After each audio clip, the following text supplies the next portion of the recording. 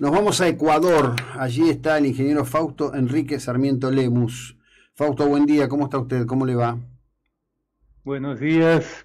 Un saludo desde el Ecuador. Bueno, ¿cómo, están ustedes después de este evento telúrico 6.8? Que, bueno, realmente este, creo que sorprendió porque no hay historia en esa región de movimientos telúricos de esa intensidad y con un saldo que en principio parecía más desafortunado que lo que dirían las noticias que se conocen hoy por la mañana, ¿no? Sí, bueno, eh, en realidad el impacto que causó este sismo fue, fue muy grande, pues no se han registrado acá en la zona de Cuenca sismos de más de grado 5.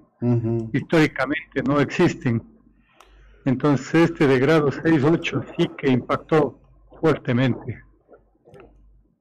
Bien, obviamente si uno mira y compara este, con lo que pasó en, Turquía, eh, increíblemente la estructura edilicia de, Ecuador soportó mucho mejor la, la situación, ¿no? Bueno, es, es muy relativo. Ajá. Hay ciudades como Machala, Pasaje y Balao que, que tienen estructuras de construcción mixta que sufrieron muchísimo, ¿no? Hay muchísimos edificios caídos ahí en esa zona, mientras que en la ciudad de Cuenca eh, el tipo de construcciones es distinto.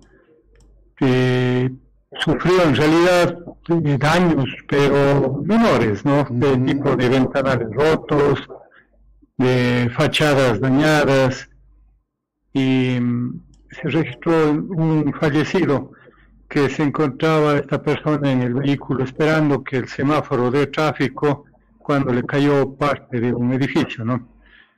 Entonces, em, es muy difícil comparar el mismo sismo en dos distintos lugares va a causar, pues, en el uno probablemente una destrucción total y en el otro pues daños, ¿no? Mm.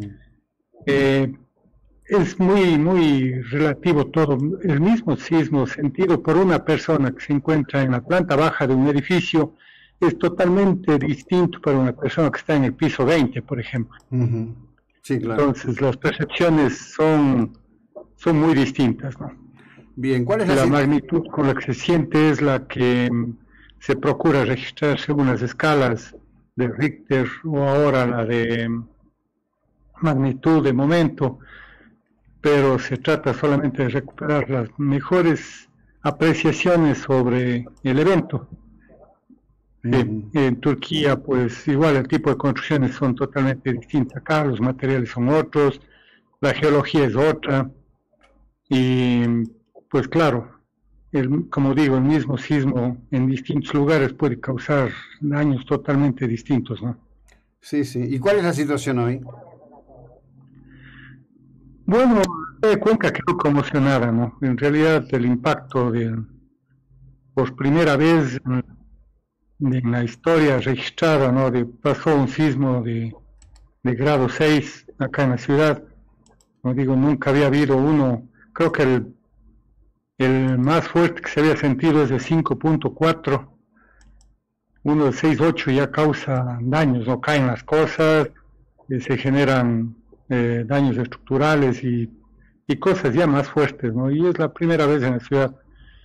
En la costa, pues la ciudad de Machala sí fue altamente impactada, muchas casas cayeron, en las zonas rurales igual, ¿no? Donde, como digo, las construcciones son de, tipo mixto. También hubieron muchos daños. En total se registran 16 fallecidos y muchísimos daños estructurales. Lo raro es que hay muchas escuelas que están afectadas, ¿no? Hay como 60 escuelas que fueron afectadas, edificios públicos con daños menores y y cosas similares, ¿no? Eh, es increíble, pero eh, a pesar de que en el Ecuador, pues es un país que está en el cinturón de fuego del Pacífico y existe divulgación de, de cómo debe uno comportarse, pues, en un evento sísmico. como nunca son similares los eventos, pues no, no sabe cómo va a reaccionar la gente, ¿no? Mucha desesperación en este caso, la gente, como digo, conmocionada salió a las calles y, y genera pánico, ¿no? A pesar de que se procura de que eso no suceda, pero creo que es imposible no controlar ese asunto. Hay muchas muchas recomendaciones de, al respecto de qué hacer, como tener una mochila, por ejemplo, en casa, que tenga alimentos, una frazada, una linterna, un radio, las baterías necesarias y todo eso, pero como que son medidas post el sismo, ¿no? No, no hay como controlar qué sucede durante el sismo. No, claro. Depende mucho del estado de ánimo de las personas, de las condiciones previas, de la hora, depende de, de, muchas cosas, ¿no? Pero en realidad acá en la ciudad sí fue muy conmocionada, todo el sur del país mismo.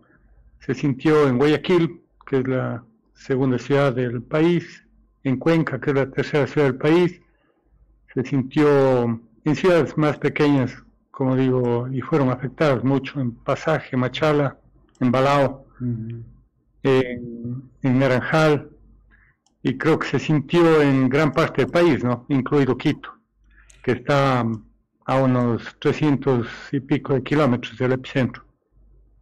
Sí, sí, este, evidentemente las fuerzas de la naturaleza este, tienen su impronta y quizás nunca lleguemos este, a, poder trabajar en, anticipando en el tiempo que puede ocurrir. ¿no?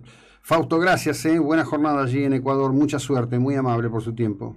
Muchas gracias y buenos días y ahí a las órdenes cualquier información. Bueno, muy amable, muy amable. Fausto Sarmiento Lemos, ingeniero civil, está allí en Cuenca, Ecuador, donde bueno el impacto del impacto telúrico ha sido tremendo. Cerramos este